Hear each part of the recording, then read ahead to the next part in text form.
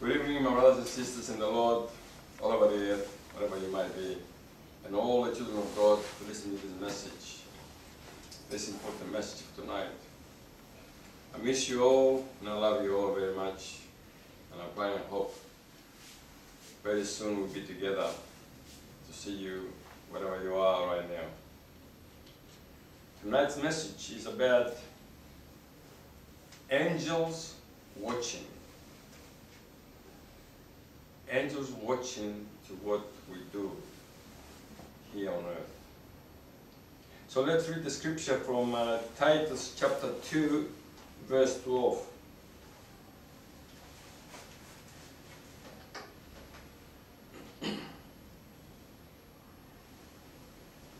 Teaching us then that denying ungodliness and worldly lust, we should live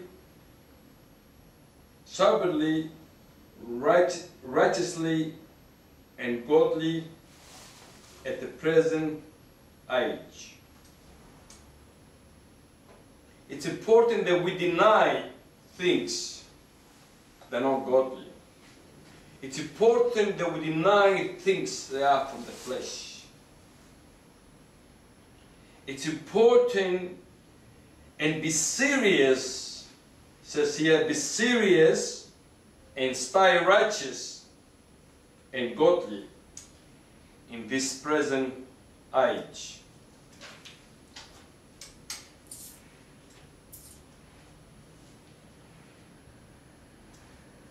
Let's see also what uh, 1 Peter chapter 4, verse 2 says.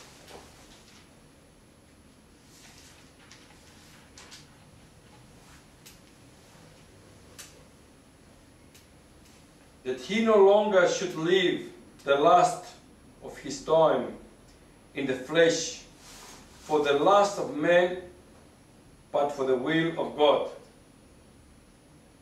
And if we go if we start from, the, from chapter one, from verse 1, it says, Therefore, since Christ suffered for us in the flesh, arm yourselves also with the same mind. For he who has suffered in the flesh was ceased, ceased from sin. He also was earthly on this earth here. He was also human. He left his kingdom. He left, he, he left to be uh, the King of Kings and being God and came here as a human being. And he suffered. He suffered to the point of, of tears of blood was coming off his face because he was not willing to sin. And in the same way, we can be the same way as well. And also, again, be serious as Christians. Every one of us. And the last scripture on this also, in Luke chapter 1, verse 70, 75.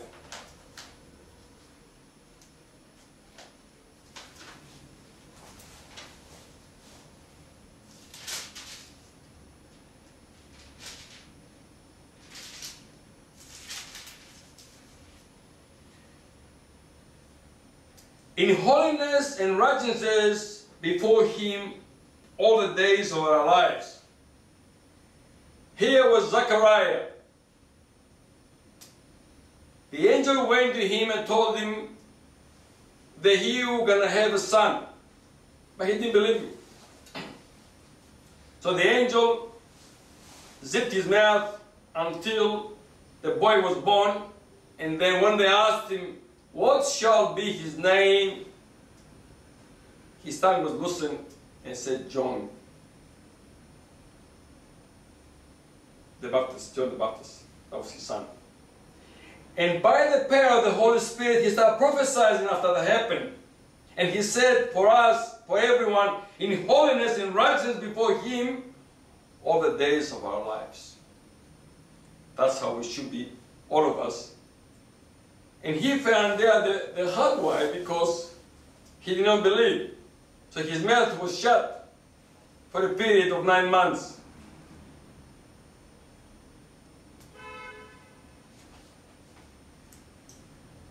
The Bible tells us that our lives are heavenly primary concern. The angels and God and Jesus and the Holy Spirit, they are all looking down to see what we are doing here.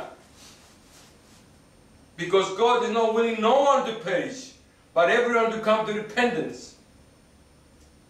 So it's our time for us to do something on this earth and to finish our calling.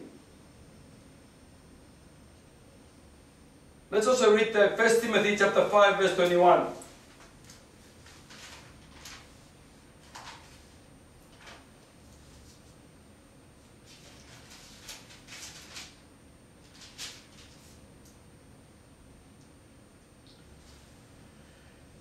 I charge you before God and the Lord Jesus Christ and the elect angels that you observe these things without prejudice, doing something with partiality. The Apostle Paul said, I charge you, Timothy, before God and the Lord Jesus Christ and the elect angels so he also used the angels in this. Wasn't just said God and Jesus said the angels as well. To observe these things and don't do things in partiality. Just do it all. Finish it all properly. Be serious in your behavior.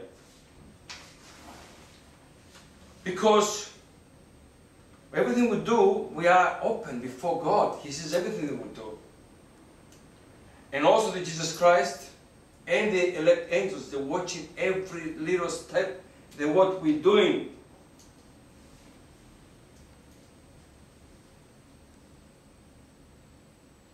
My brothers and sisters, think about this. The angels in heaven, right now, watching what we're saying and what we're doing right here. watching also how we live our Christian lives. You see, the, the angels are watching to see out of curiosity on their post, I believe wondering if we fail or prove to be faithful. No.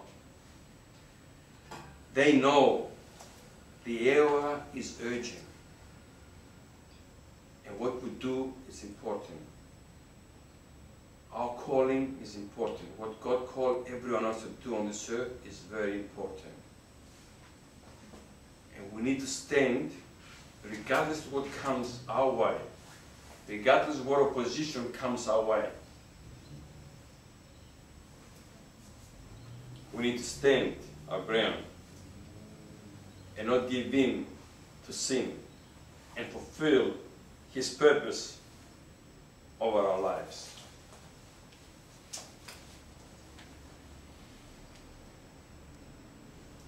Eternal issues are at stake, and we're in the middle of cosmic struggle. The enemy wants to liberate us, all of us, destroy us. He has no power over us if we stay out of sin. But he will bring things your way to entice you to get into sin. Because the minute you're in sin, God lifts his hands up and leaves you. So do you think it doesn't matter where you live? It does matter a lot to God and to Jesus Christ, who He, who knew no sin, became sin for you. He didn't you know, spare His life for you. So He purchased you with His own blood and saved you for a reason for you to do something that He has for you to do on this earth.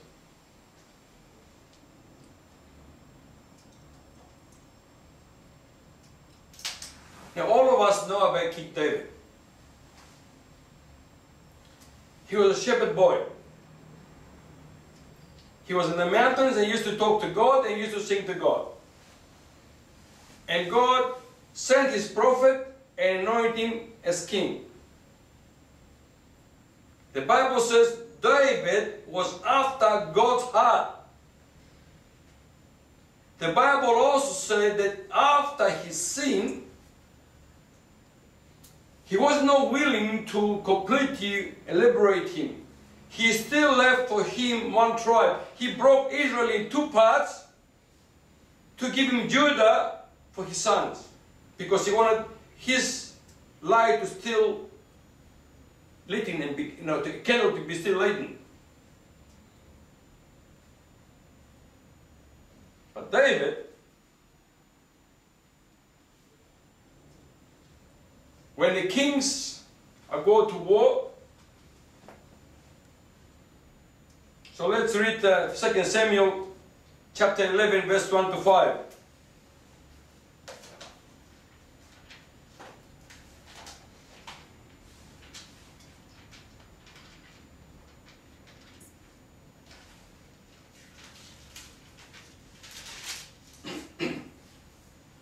It happened in the spring of the year, for all the time when the kings go out to battle, that David sent Joab and his servant with him and all Israel, and they destroyed the people of Ammon and besieged Rabbah. But David remained in Jerusalem. That happened one evening that David arose from his bed and walked on the roof of the king's house, and from the roof he saw a woman bathing. And the woman was very beautiful to behold. So David sent and inquired about this woman. And someone said, Isn't this Bathsheba, the daughter of Eliam, Eliam the wife of Uriah the Hittite? Then David sent a message and took her, and she came to him, and he lay with her, for she was cleansed from the iniquity, and she returned to her house. And the woman conceived, so she sent and told David that she was with child. A king who God had done so much with him and would have given him so much more, in the time where he was supposed to be in war, fighting the enemies, he was there looking from his palace and he saw this beautiful woman.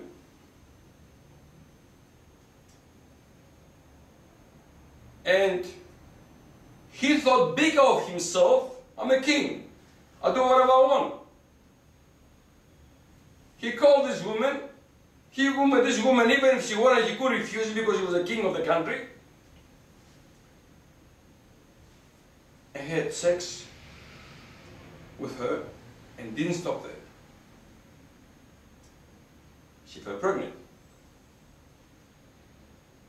But it didn't stop there either.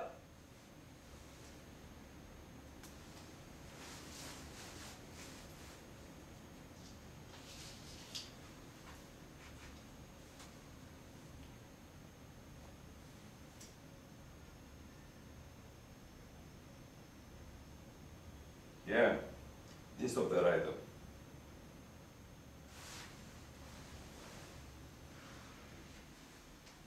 Let's also read First Samuel 13, verse 14.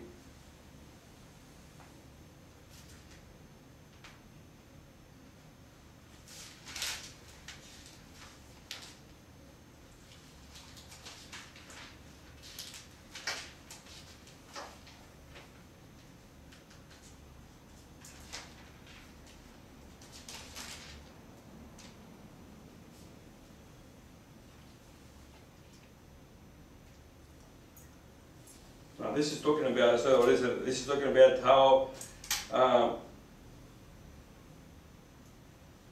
I'm going to read it anyway. But now your kingdom shall not continue. The Lord has caused for him a man after his own heart, and the Lord has commanded him to be commander over his people because you have not kept what the Lord commanded you. This will happen with the previous king, Saul. Okay? And God giving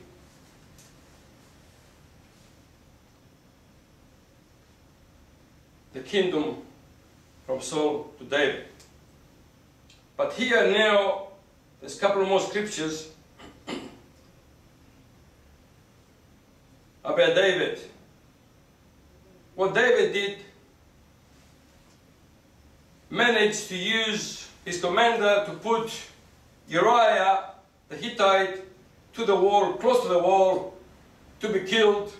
So therefore, this man is killed, and then he take Bathsheba to be his, to be his wife, and he tried everything to make Bathsheba his wife, to continue in sin, and even so, after his sin, he prayed for the child, but God took the child because the child was from adultery.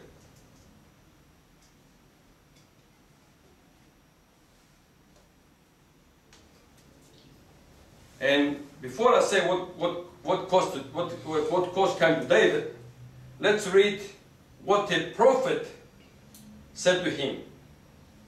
So let's read from Samuel chapter, 2 Samuel 12,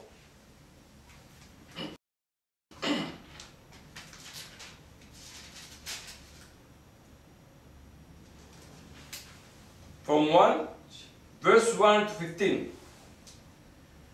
Then the Lord sent Nathan to David. Nathan was a prophet. And he came to him and said to him, There was two men in one city, one rich and one poor. The rich man had exceedingly many flocks and herds, but the poor man had nothing except one ewe lamb which he had bought and nourished. And it grew up together with him and with his children. It ate his own food and drank from his own cup and lied in his bosom. And he was like a daughter to him. And the traveler came to the rich man, who refused to take from his own flock and from his own herd to prepare one of his wife men and had come to him but he took the poor man's lamb and prepared it for the man who had come to him. So David, angered, was greatly aroused against the man, and he said to Nathan, As the Lord lives, the man who done this thing surely die. And he shall restore fourfolds of the lamb because he did this and because he had no pity, then Nathan said to David, You are that man. Thus says the Lord God of Israel. I have anointed you king of Israel, and I delivered you from the hands of Saul. I gave you your master's house and your master's wife in your keeping and gave you the house of Israel and Judah. And if that was not enough, too little, I also would have given you so much more. Why have you despised the commandment of the Lord and do evil of his sight? You have killed the Uriah, the Hittite, with the sword, and you have taken his wife to be your wife, and you have killed him with the sword of the people of Ammon.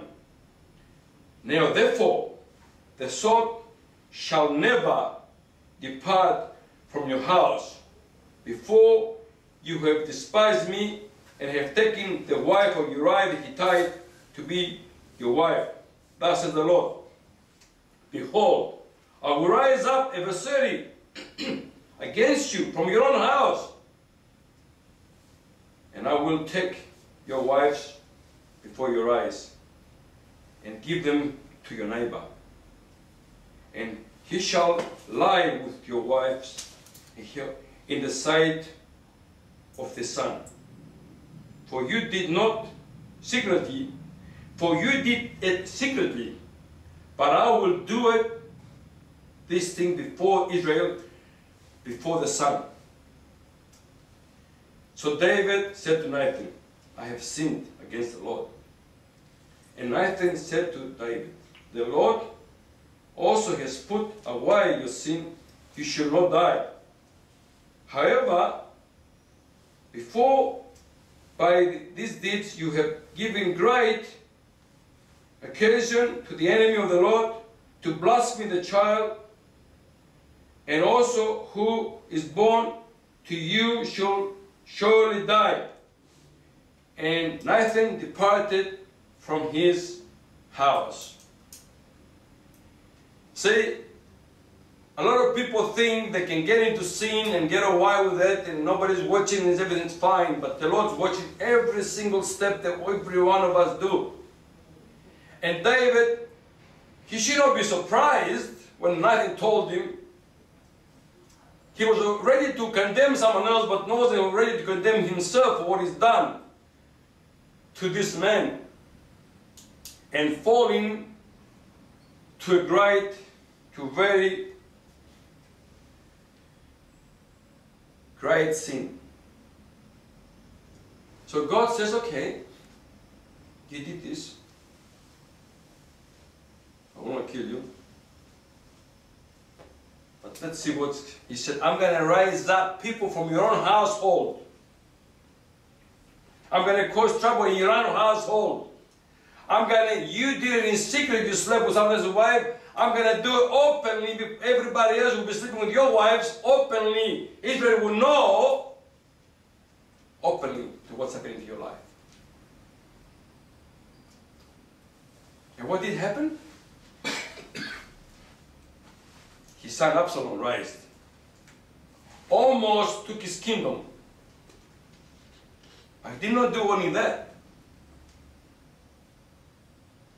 Amnon his son raped his sister.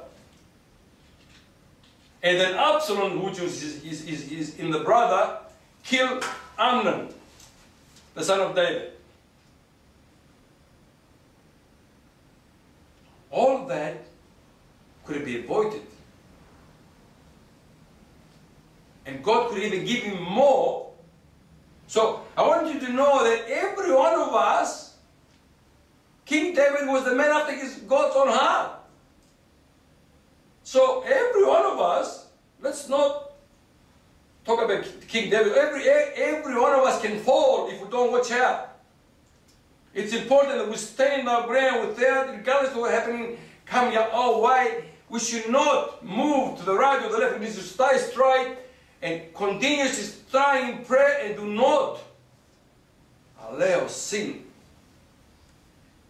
to come into our lives because the devil will come in and will destroy everything in our lives. So if we read now 2 Samuel 13 verse 28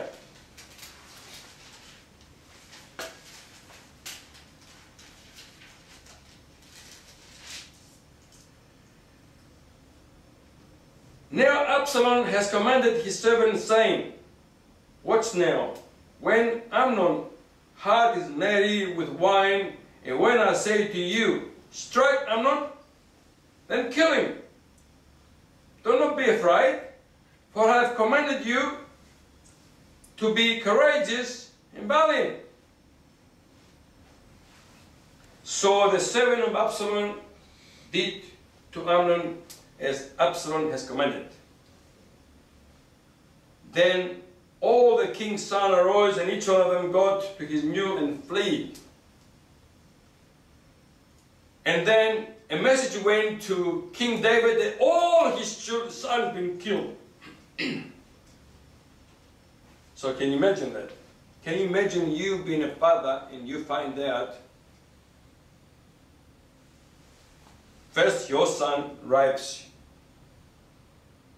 your own daughter, and then your other son kills your other son. Can you imagine that? For me, it would be easier if, if I if I die. It would be much easier than living having one of my children, one of my sons kill my other son. It would be easier for me to die. So I need you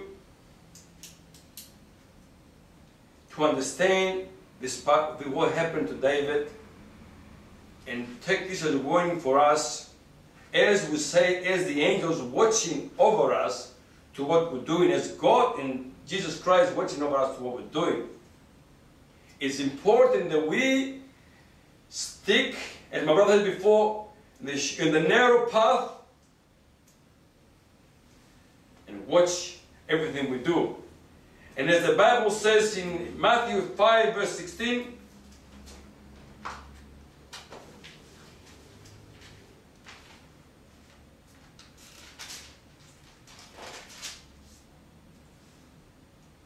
Let your light so shine before men, then they might see the good work and glorify your Father in heaven. Let the light of God shine on us for what we do and where we, how we walk and what we do on this earth. And, you know, and also I even know brothers and sisters in the Lord that, yes, the brothers, they this but yet they still lie. People who are supposed to be part of glory to God, and they lie. That should not be a thing like this in people of glory to God, or any other brother or sister in the Lord. We are children of God and everything we say, if you don't, you know, like, just don't sin, don't do anything wrong so you don't have to lie. It's important that His light shine on us that why we behave on this earth.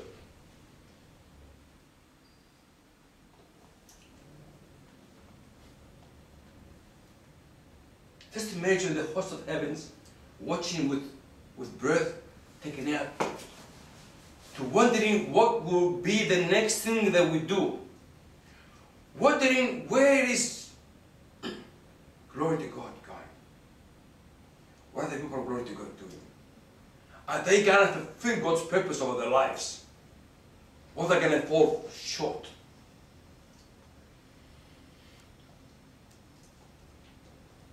Your life matters to God. And what you do matters to God. And what you do matters to the people who need to be touched by you.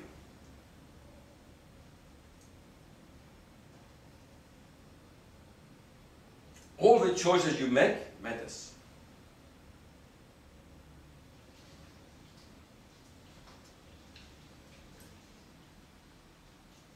Nothing about you is not important or not sufficient, no um,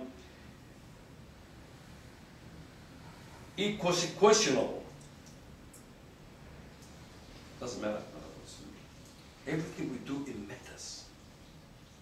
Every step we do and take, it matters. So I'm finishing with this. Live your life purpose. And stay in the calling God has called you to be. If you don't know what your calling is, pray, fast, ask the Lord to tell you exactly where you belong and fulfill His purpose of your life. But more important than anything, my brothers is don't let the enemy deceive you and take you down the wrong path. And destruction comes in your life, and you can't fulfill His purpose of your life and you cannot do what He called you to do on this earth. And the angels cannot. Waiting with anticipation to see what your next thing you're Bless you all. I love all of you. Have a blessed day and night wherever you are. In Jesus' name I pray. Amen.